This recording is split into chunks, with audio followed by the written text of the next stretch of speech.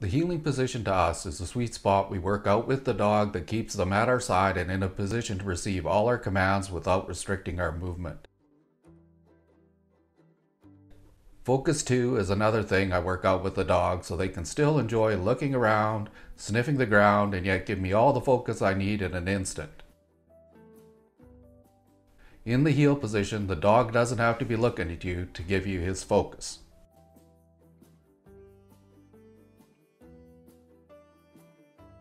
Welcome to our channel. We're going to get right to work and hopefully you're beginning from the controlled starting point we began to establish teaching the sit stay.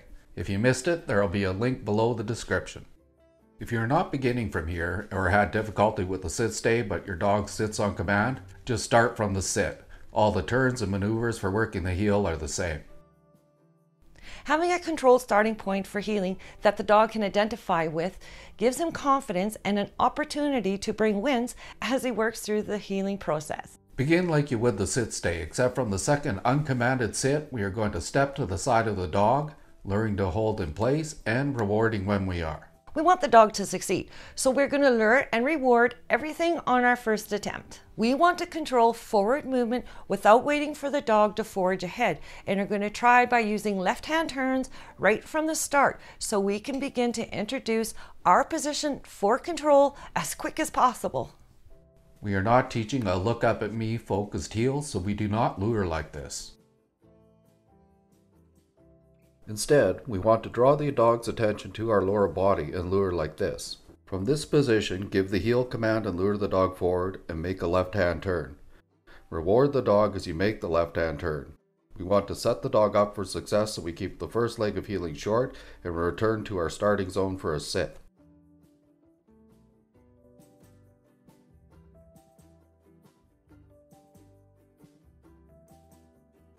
Each time you return to the starting zone, reward for the sit and practice a short sit stay, adding a step back and forth before giving the come command. And then you are ready to continue on with the heeling exercise.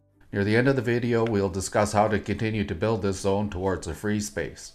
If you're not using the starting zone, just ask for a sit after a short distance.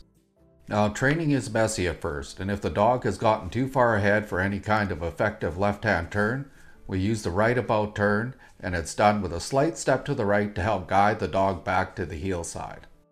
The right about turn changes the dog's direction, but again, the dog goes to a quick pace to get back into position. And if he blows by you again, you get this back and forth thing going on.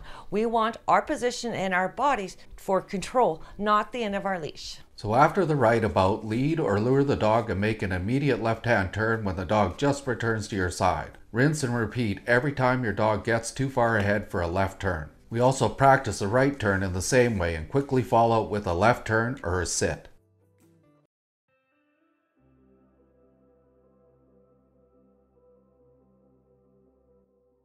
As the dog becomes more compliant to lead pressure, we transition it to correction pressure, which is not much more than lead pressure, just delivered quicker with more of a pop for a quick moment of guidance, and it's given in the direction you would use to hold or lead the dog into position. This is a level of control that I want in a very low distraction environment. Repetition does all the heavy lifting, not corrections.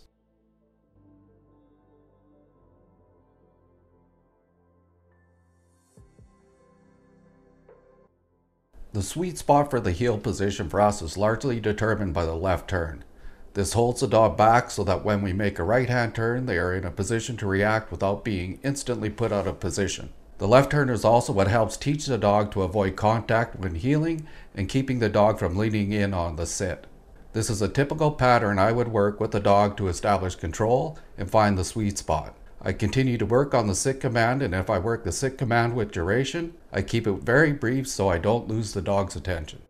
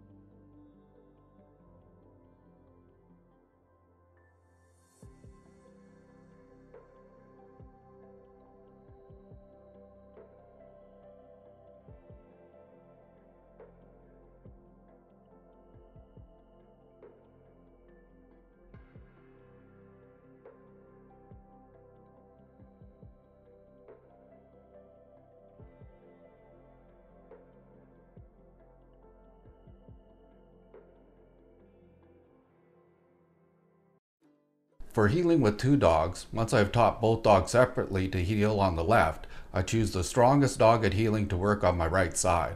Again, this is done separately. All the techniques for working the heel are just reversed and the dogs learn the second side much quicker. When the dog is solid in the right side, I begin working them together. Ordinarily, I would teach only one dog to heel on the right side, but since I am working towards heeling two dogs together, from two front facing positions and two rear facing positions, both dogs need to know all positions. This is Man O' War's first time working his right side skills with Ripley present.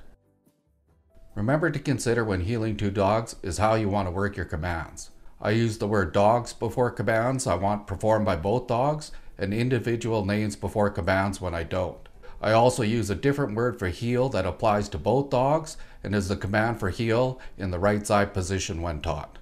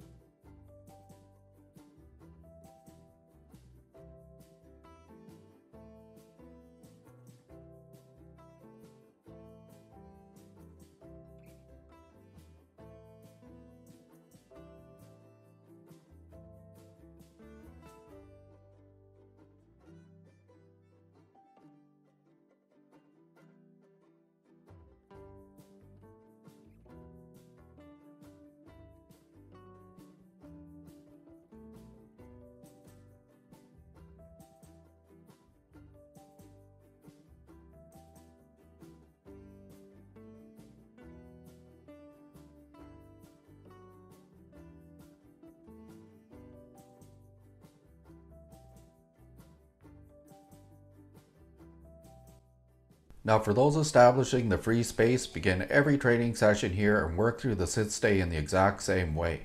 Don't work the dog in this zone in any other way. Later on, we'll use it to work the front position further and for bringing the dog to heel.